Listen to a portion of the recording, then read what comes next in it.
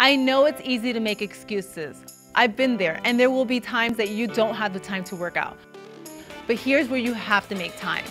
You have to make time to be your best version of yourself. Hi guys, I'm Chady Dunmore here with Oxygen Magazine, and I was able to create a 28-day fast-track fitness program for you. I was once over 200 pounds. I have an autoimmune disease, and I'm a single mom. I have been in positions where I don't even know where to begin. And that's why it was so important for me to create a blueprint program for you, for the woman who is busy on the go, who doesn't have the time, who doesn't know where to begin. The woman who is already fit, or the woman who just needs to restart and revamp her program. This is the program for you. When I first started my fitness journey, I remember just looking at myself in the mirror and just finding myself again. I want you to feel like you're strong, capable, and more importantly, feel like you.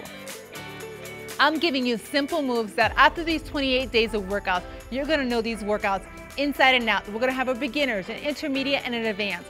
You're going to be able to progress through this program. You can do these workouts anywhere and you can be resourceful with anything. I'm also gonna be giving you a 28-day sample meal plan because nutrition is just as key. We have an amazing group of women on Facebook. If you have questions, ask me, help each other because we are in this together.